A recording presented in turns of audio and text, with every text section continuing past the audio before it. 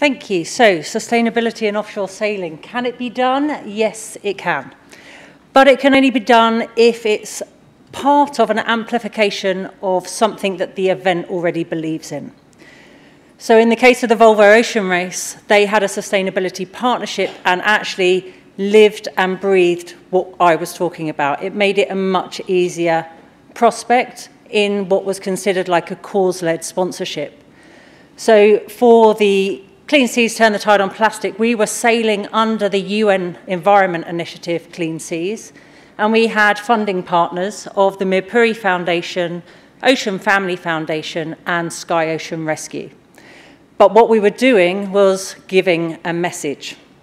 Now, in the event of the Volvo Ocean Race, as we know, it goes to some of the most remote places on the planet.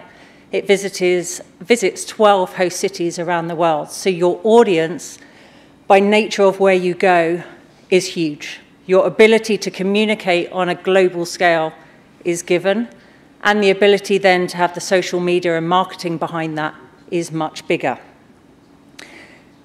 Now, the team um, that I was challenged to take on, shall we say, had its own challenges in itself.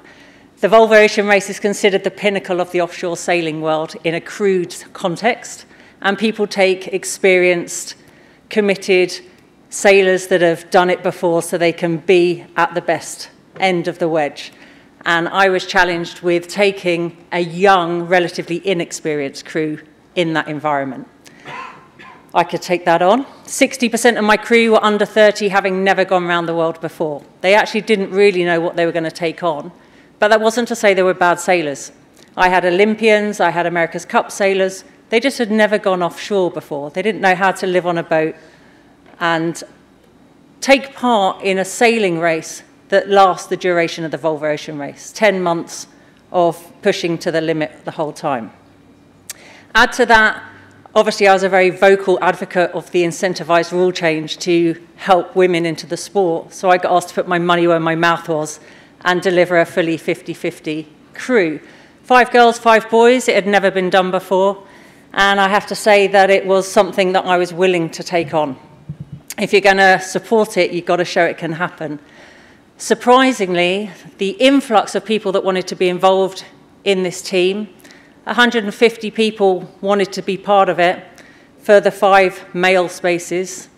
And I'd say, sadly, only about 50 female applications came in for the five female spaces. So they are out there, they do want to be part of it, but it's that confidence to put themselves forwards. But the synergy for the team wasn't about the gender diversity, wasn't about the youth, wasn't about the um, taking on this, it was the actual point of the synergy between what they represented. To give the environmental message of trying to turn the tide on plastic and address the issue of our ocean health. The young crew actually believe in this cause. They're actually the people that realize they've got to go and take, make the change happen. It's their children that are going to inherit basically the mess that we've created. So actually the communication was really genuine and I thought that link was really strong and it had a really easy ability to add a lot of credibility. But ultimately, they were going off in an environment they didn't know much about. As well as having this performance on the water, we had a strong responsibility to race against uh, protecting our ocean health whilst ashore as well. Add to that, we had Sky Ocean Rescue on board, and to have a media company come on board and have the reach to amplify the message undoubtedly helped us. At a time when there was a huge momentum on the topic happening as well, thanks to the BBC Blue Planet, but when you get a broadcast company helping to generate what is a very content-rich sport, it really helped put that message out there and helped us communicate to the 12 nations around the world, the millions of fans through the race village and following online. But we need credibility. You can't just go out there and talk about an issue. You have to show that you're doing. And the credibility we had was having a, a big science impact. We carried a microanalyzer on board that had not been done before. And the value of this was that it was groundbreaking technology. Add to that that somebody in race control tells you that you're going to add 45 kilos to your boat and have to be responsible for managing this science. You can imagine as a team, I thought I was already up against it and they were just adding more pressure to me. Corrected for weights, all the boats were even. I tried to get a bit of compensation for the extra filters and fuel I had to carry, but they weren't really going to buy that. You can only try. Um, but what we had to do is compromise uh, to make sure that it was something that we could buy in and commit to, and therefore make it worth its while. So once we discussed about where it was going to live on the boat and how it was going to operate, we accommodated that every time we made water, so every time we were running our water maker, the same inlet was going to feed the microanalyzer. That water then went through the system and it did the normal kind of science where you do the chlorophyll, the pH levels, the salinity, the temperature, stuff that we know we've had information on before. But then it ran through the series of three filters where they were collecting the microplastics that were present. And because this water intake was below the surface of the water, it wasn't like previous stuff where people drag nets behind and things. So this was really groundbreaking stuff. We were going to do this on a daily basis throughout the whole trip around the world and we really bought into this. It just took a little bit of changing our attitude as to how we managed the boat. So it was just a getting into a different habit of turning on a different machine half an hour before you were going to make some water. And once you've got that part of your routine, it's the same way as you maintain any boat anyway. So the impact wasn't too big. We dated the filters. Every two days we changed them, and they were put into sealed packets. That was then collected by Geomar in Germany, who supported the project.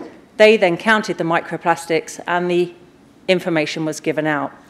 Now, when we started, they didn't actually have the technology to count the microplastics because this was groundbreaking data that hadn't been done before.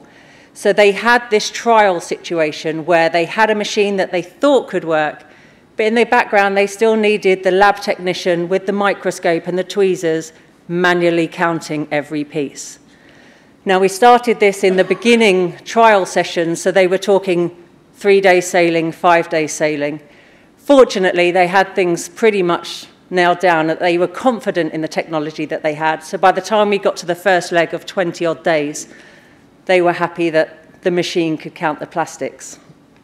So having the partnership and the message being out there was very important, and Sky put a really nice video together for that.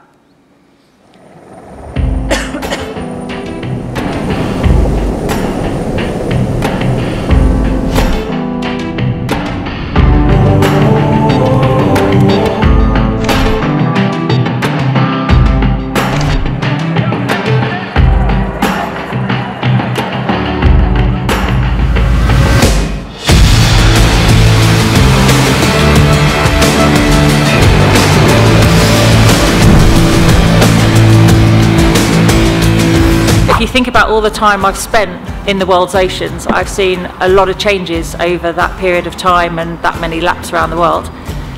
I've seen the horrible reality of the pollution in the oceans as well. And to be the skipper now of Turn the Tide on plastic and have that clear message that I'm now taking around the world just to make people aware that there is an issue and we can actually all do something about it. So this team is not about just delivering on the water in performance, but it's also about delivering ashore and making sure that message comes home and we change the way people behave and conduct themselves and hopefully address the pollution and the plastic in our world's oceans. Sadly, the ocean is full of plastic. We've all been amazed by just the amount of plastic, polystyrene we've seen in the ocean.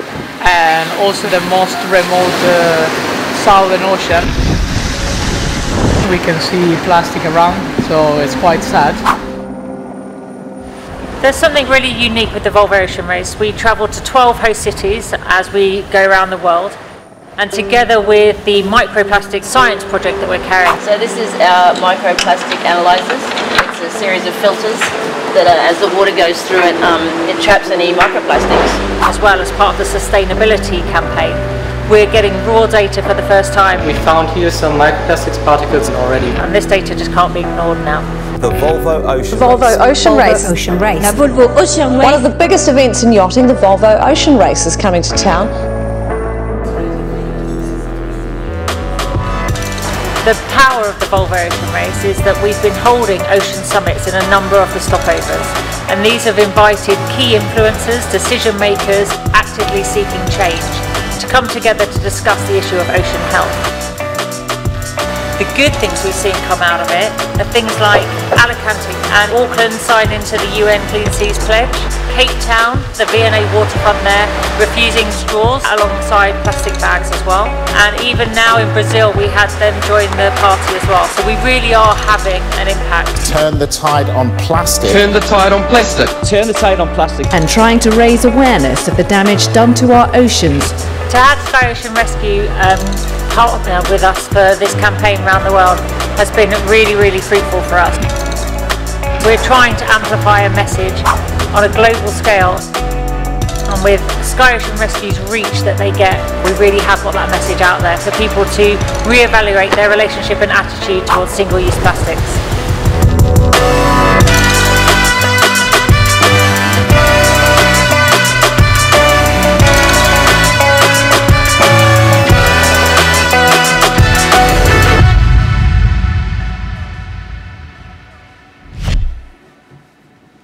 And you certainly learn a lot about the detail of plastic. I didn't know it was such a complex um, subject, and I have to say that the minute it was announced when I got off the flight into Alicante in June in 2017, I suddenly realized that I could never be caught with a plastic bottle in my hand again.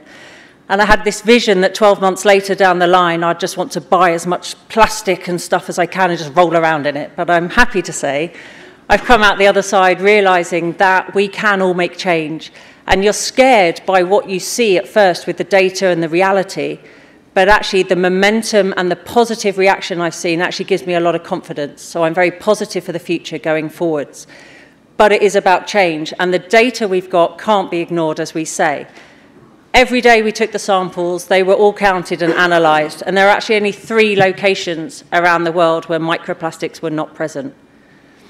Now that's three in quite a wide-ranging, um, vast content. Not surprisingly, there was high density in Asia, there was a high density near Norway, and a high density in the Mediterranean. But the problem is, they were everywhere. And now it's very easy for us to see the balloons, the polystyrene, the bags, the bottles, the macroplastics that are very easily visible. But understanding how in Point Nemo, when you're in the most remote part of the Southern Ocean, the furthest point from human contact, that there can still be microplastics is mind-blowing. So now there's finally some joined up talking. We had the NOAA drifter buoys that we deployed that you saw in some of the pictures earlier from Richard. And now GeoMar are talking to NOAA and they're talking about ocean currents and drift and the fact that the macroplastics are breaking down and this is the travel that they're going on. So having a better understanding allows us to address the issue better. Now, during the Volvo Ocean Race, we cleaned a lot of beaches, understandably. But what we don't want to do is create this kind of understanding for children that they can only go to the beach if they clean it. We still want them to enjoy our coastline, enjoy the water, and have fun and make it a positive place. So it's about that balance of increasing awareness, doing the right thing, and making an informed choice. Have no doubt this subject is massive. To detox every area of your life is massive. To detox our sport is massive, whether it's talking about sustainability of boats, new technologies and um, environmental propulsion going forwards, whether it's talking about how we conduct ourselves, what we eat and what we drink, what we use, it's a massive subject. But we need to tackle it and we need to address it and we need to make sure it's considered in all aspects of our sport. Thank you very much.